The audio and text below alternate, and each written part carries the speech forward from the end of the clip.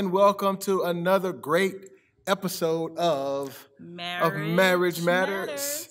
Uh, for those of you who are watching us for the very first time, my name is Glenn Coleman, and this is my queen, my wife, my gift from God. I like all of those. Keep going. Oh, I was gonna let you say your name.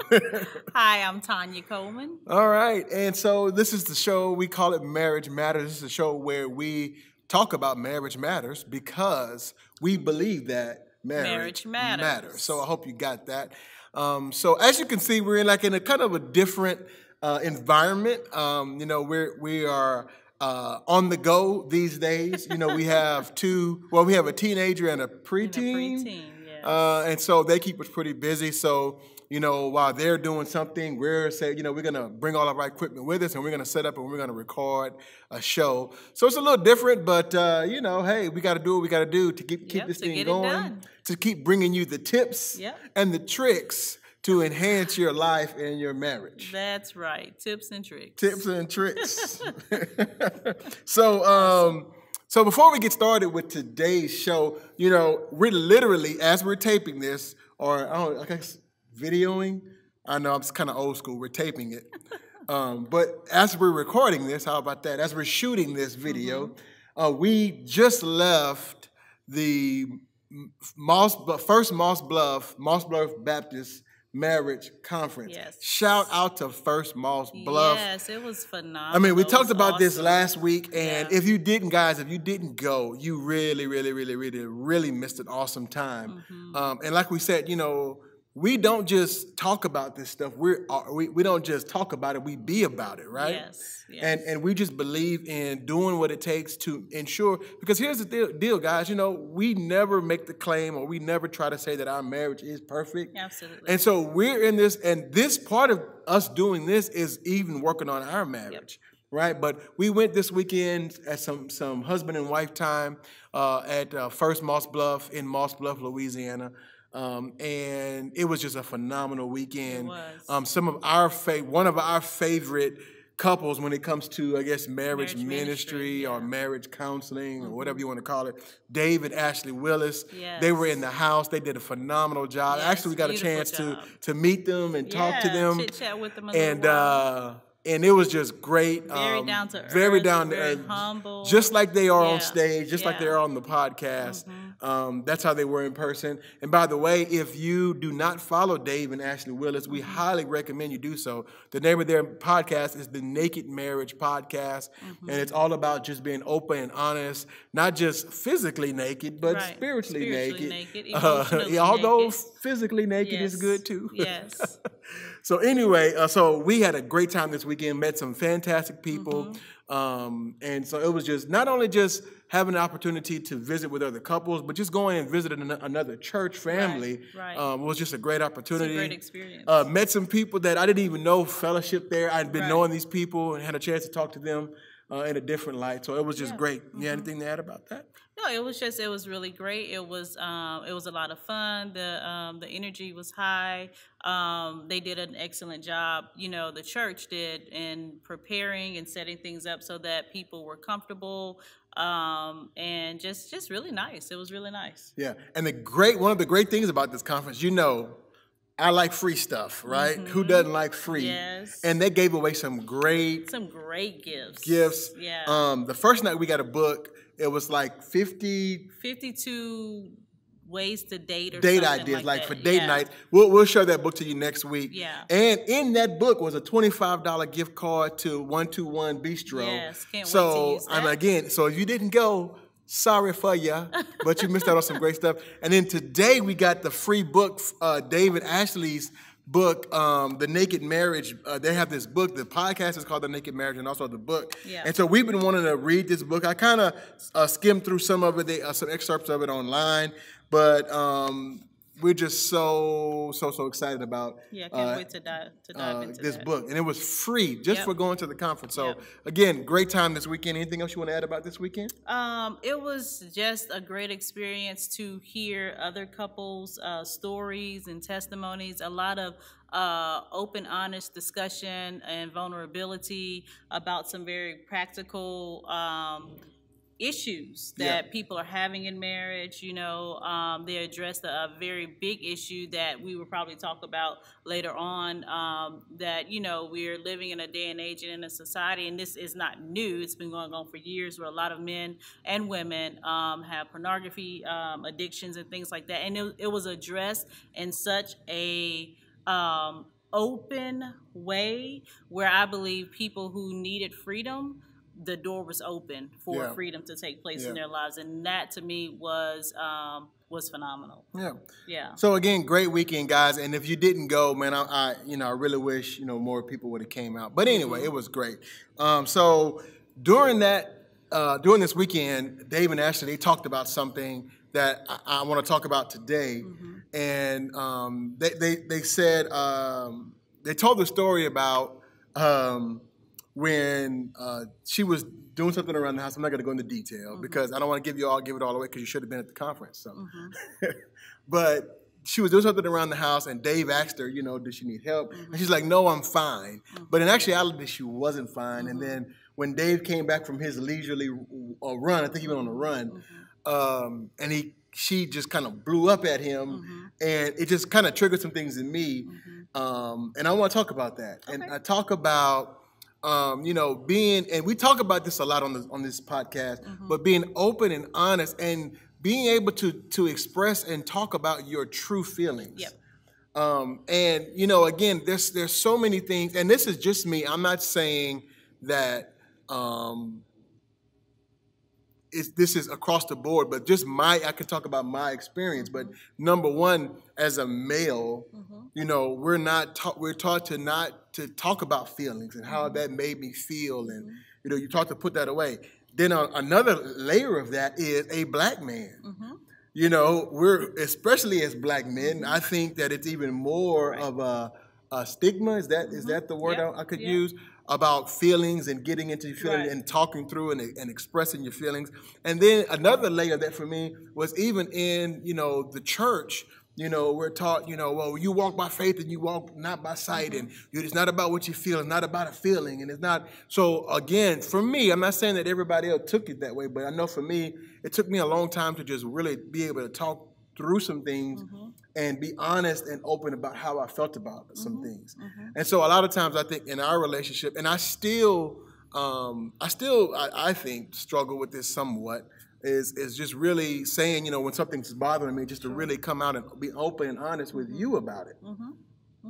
And I, I think that's true. I mean, you, we have come a long way. You've come a long way, um, and being open and honest, being verbal about um, what it is that you're that you're feeling. Because the the truth of the matter is that you know we do walk by faith. We are faith people. Yes, we are. Um, however, we also are faith people that have emotions and have feelings and know we're not we don't live by them we're not guided by them but our feelings are real Yeah. and so when they're not dealt with they can they can turn on you and and become an enemy so i believe that you have to deal with the feelings and anything that is kept in secret um, is very damaging, especially in, in a marital relationship, family thing, or anything. Wait, you know what? You know, Marital relationship.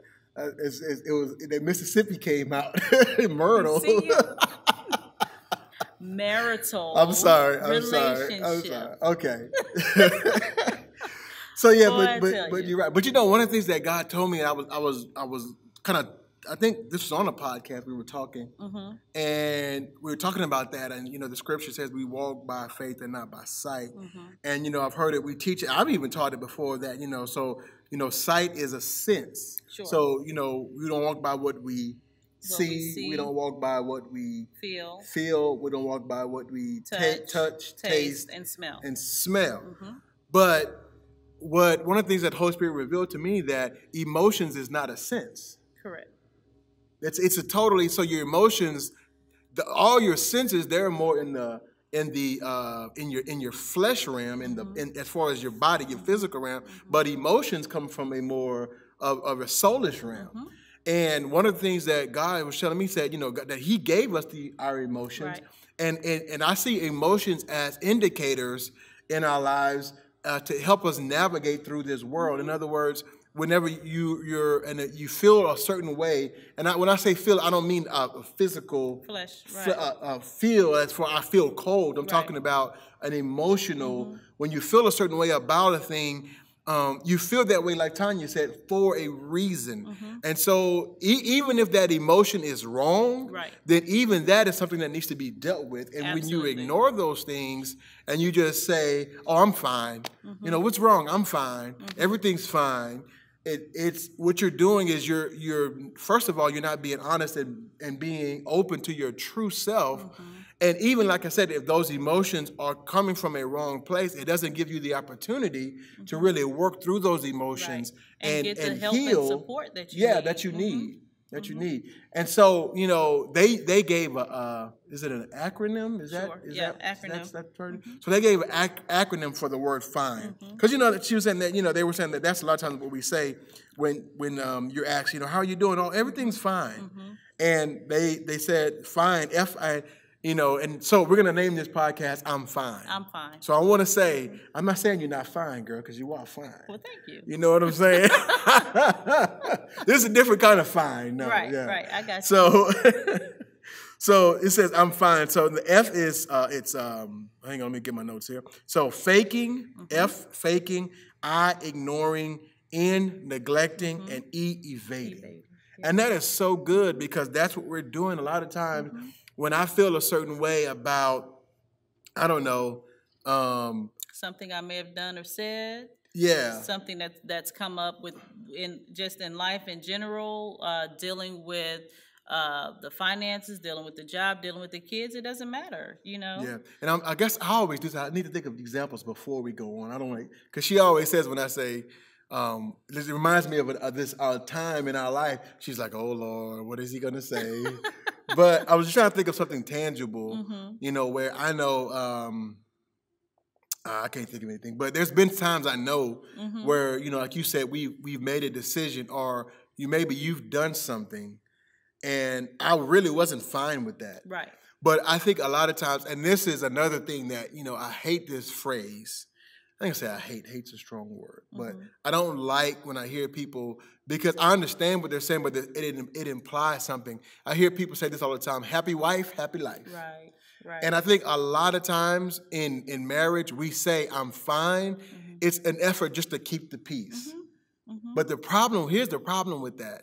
When you say, I'm fine just to keep the peace, then you're really not fine.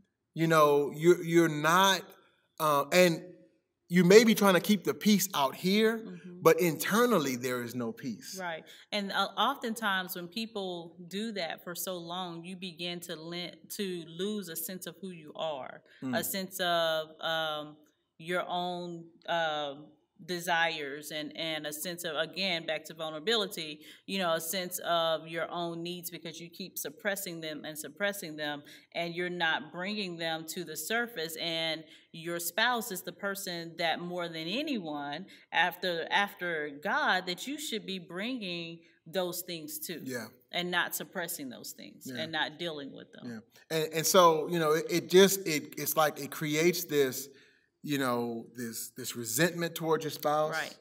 Um, and again, because like I said, you're, you're saying something, Right. but in your heart, in your, in your soul, you, you're upset about it. Mm-hmm. You're, you're frustrated about it.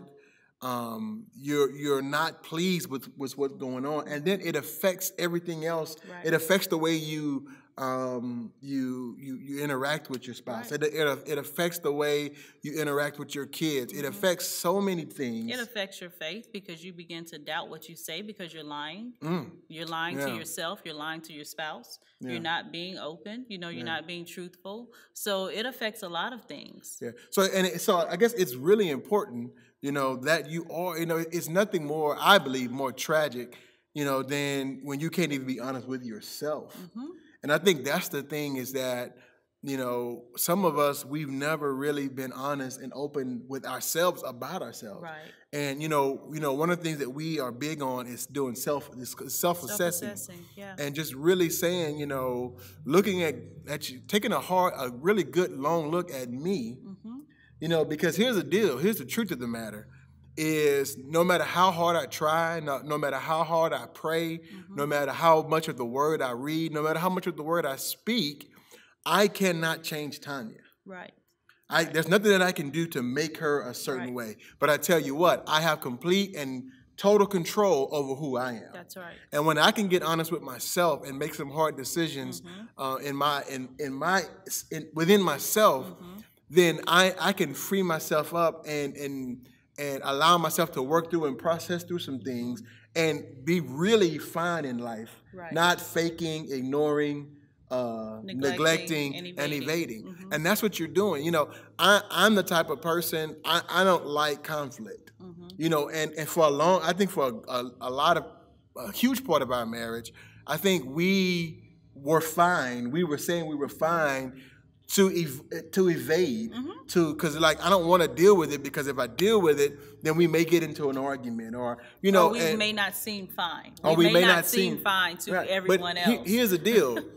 I would rather, and, and and and I'll say this: Tanya and I, we've never had like an argument. argument. We've Right. never had a, Right. a, a blowout. We. I'm not saying we've never. We never. We, We don't always disagreed, see. Yeah, we've disagreed. But we have never had a blowout, heated, screaming at each other, someone storming out of the house kind of never had argument. one of those. Praise God. Yeah. Um, but I say this: I would rather have 20 minutes of just, and I am not saying you should scream at your spouse or fuss, but what I'm saying is I would rather have 20 minutes of that Mm-hmm. and working through it than a lifetime of inwardly resenting my spouse Correct. and never being able to Right. really get to a place of happiness and contentment in my marriage Mm-hmm. because it, it's hard to do that. You know, it's like it's like that person that you know from your childhood who you always had you always had beef with, and you know you guys may see each other and you know you speak to them, but you know Right. down in your heart you're There's like that thing. yeah, it's like, Mm-hmm. whoa, I can't stand, you know. And and to have that with your spouse, Yeah, it, yeah. you know, it, it, it's just a, a tragedy Yeah. to, to live that way. Yeah, I think it's um it's sad, you know, to know that many people, you know, at the end of their workday, uh, they dread coming home, Mm. or they they dread their spouses coming home. It's like, oh my God, here she comes, here he comes, you know, and it's it's sad to live in that predicament where you are not happy in your marriage or with your spouse you're not content you're not at peace you're not able to you're, to be vulnerable to be open you're not able to really express your truths. And one thing that i think we have to remember is that we no matter how hard the truth may be when we express that truth we're doing it in love. We're not doing it to hurt or to harm. We're doing it to actually help. And Yeah. so one of the um, there was a scripture um, that they read at the conference that I wanted to share, um, and it's Ephesians um, chapter four and verse thirty-two. It says, "Instead, be kind to each other, tenderhearted, forgiving one another." Just as God has forgiven you, because you belong to Christ. So we have to be kind to one another, be tenderhearted to one another, and forgiving. You're gonna marriage is a lifetime of forgiveness because you're living with another person. You are becoming one with another person. And because you're in it there are going to be some moments of needing to forgive. Yeah, I've, I've heard someone say that there is no perfect marriage because marriage uh, consists of people and there's no perfect people. there's no perfect people. Yeah. there's no perfect person. So so that's the so I guess what we flip it over now into is is how do you ensure that that you are fine, not just faking, Yeah. ignoring, uh, neglecting, and Neglecting and evading, evading, but you uh-huh. truly are fine. You're content. And the first thing I think you said that there is is to forgive. What was what Yeah. was some of the other stuff? it that was one be kind Mm-hmm. that when i'm communicating my needs or i'm communicating something that may be wrong i'm doing it in a way that's kind you know i don't have to scream holler accuse and all of those things to say to you that you hurt me when you said this. When you said this that hurt. You know when you did this um i didn't really like it. I didn't think it was right. You know I don't have to say that in a way that is going to be damaging to you um, emotionally or mentally or putting you down or disrespecting you, dishonoring you. Um, another was to be tenderhearted. For me, that means to show your spouse compassion, to be compassionate, because and you taught on this for so long um, about love and how if your spouse does something um, out of the will of God, sinful or hurtful, you know, we need to check to see. I need to check to see how you are. I need to show you compassion because apparently you're hurting in some form or fashion. Um, so that tenderheartedness, um, and then forgiving, being forgiven. You know, again, it's a constant thing. You should always be forgiving. You know, rather it be something big or something small, always show forgiveness. And I go back to, you know, how God always shows us forgiveness. Mm-hmm. Yeah. So one of the things you, you talked about earlier you, you- in that scripture, you talked about mm-hmm. communicating, mm-hmm. and you guys know our our definition or our our mode or our, our the way. Mm-hmm. Let me say the, the way we communicate is we talk about everything, Everything. openly, Openly, honestly, and and often. And often. Right. Yeah. Openly, honestly, Honestly, honestly, and often. Often. Mm-hmm. We about everything. So nothing's off limits. Mm-hmm. You know, and and you have to just be honest, you know, and find a way. And like Tanya was saying, you don't have to say, you don't have to do it all mean, but you know, find a way, you know, maybe write it down, mm-hmm. You know, uh, and and let your spouse know, you know, this when you said, like you said, when you said that, or you know, uh, another couple that we follow, um, Kevin and Melissa Fredericks, Kevin on stage, Miss Kevin on stage. You know, she was talking about how the gift that she got, all, Kev, her husband would give her all these gifts, and she never liked the gifts. Right. And she said for years and years, I never said anything, but eventually, because I was starting to resent him for these gifts, so she was like, I had to say, look, you know. I don't like any of this stuff, you know. And she mm-hmm. said I said it in a way that I wasn't mean, mm-hmm. but you know, it, it's it's like I, being. Sometimes you have to have the uncomfortable mm-hmm. conversations to be comfortable in your marriage. Right. And many people would say in an instance like that, well, you know, she's really ungrateful. You know, he's buying her, you know, these gifts. But the point was that she had not communicated to him that those were not things that she actually desired or, or needed. They were not her taste, you know, because, and when it all came out, honestly, he was buying those things because they, they were flashy and expensive and it made him feel good and look good to see his wife with those things. And that's a whole other That's a different discussion, but- really he was he wasn't getting them for her. He was getting he was them getting for them him, But yeah. anyway, that's another discussion. Yeah. Um, But to not communicate that for such a long period of time, you know, caused a little bit of damage and they had to go back and do some work. Yeah. And um, I just, I appreciate people like that who can be very open and transparent and vulnerable about those challenges that they have in their marriages because it helps the rest of us when we find ourselves in similar situations, which is what Marriage Matters is all about. That's Yep. why we're here doing what we do. Yeah, so you got to communicate, communicate Mm-hmm. kindly, um, and so. But it, to to kind of piggyback on that, one of the things that David and Ashley said today that I thought was really great. Uh, they said where uh, where honesty flow, where, Mm-hmm. where honesty flows, peace goes. Mm-hmm. So it's it's hard for there to be peace in a marriage when you're not being honest. Yeah. Peace peace always follows honesty Right, right. and whenever and that's that's especially inward because because it's, it's one thing to have a a image of or a facade of peace but true peace is internal Yep. and if we're both in, in internally at peace when we're both woosad you know woosad right is Yeah, that yeah. but when we're both at that point on the inside then we will have peace Right. on the outside but i think for so many people in marriage peace. The this looks peaceful. Right. They, you look peaceful on Sunday mornings in church, and and everybody's looking at you, and it's like, oh, you know, um, you know, we want to be like Glenn and Tanya, know, whatever. And, and that's why I always say you can't trust social media. I always say social media is ten percent of people's lives, and it's the good ten percent. Right. You know, it's like you know, uh, me and Bay chilling, Mm-hmm. but they're not gonna post the picture or the video of them and Bay fighting last Right, night. You know, right, so, but I don't want I want the I want the me and Babe chilling, but I want it to be real and Yes, authentic. Authentic, yes. And that's that's Yes, something you know. Mm-hmm. what that word has been another one of my words is being authentic. I want to be my true self. I want to be able to if if um uh, how, how does it say? If if, I- if if I don't hear music, I'm not gonna dance. Yeah, that's good. You got what I'm saying? I don't want to live my life just you know being fake. And I always say I don't like I like being around people who I can be myself around. Yeah. I don't like being around people who I have to put on for you know, right, and all right. that. Got to So- put on airs and and act the, the right way in a certain way. I mean, and there are times when you have when you do in different situations. Of course, you adjust. But I definitely get what you're saying that I should always be able to be true to myself and be authentic. So we're gonna wrap this up. So you know, remember, don't just be fine. Don't be faking. Don't be ignoring. Don't be neglecting. Don't be evading the issues that are in your marriage Yeah. because you're not fine. Look, deal with it.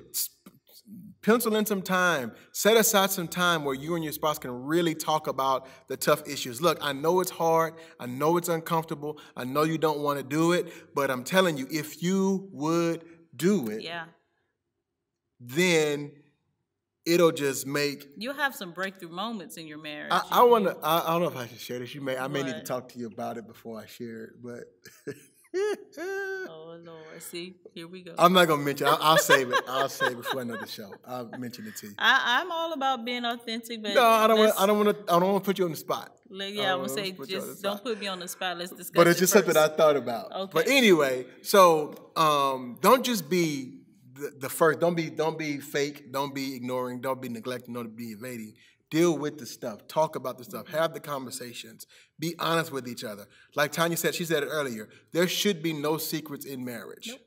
And if there is a secret, if there's something, if there's something in your marriage, if there's something in your life that you don't feel comfortable telling your spouse about, those are the things that you need to talk about. Absolutely. Those are the things you need to talk about. You need to communicate. And remember, we said when you're communicating, Mm-hmm. we have to be kind. We have to be loving. What was the other one? Have to be tenderhearted. Mm-hmm.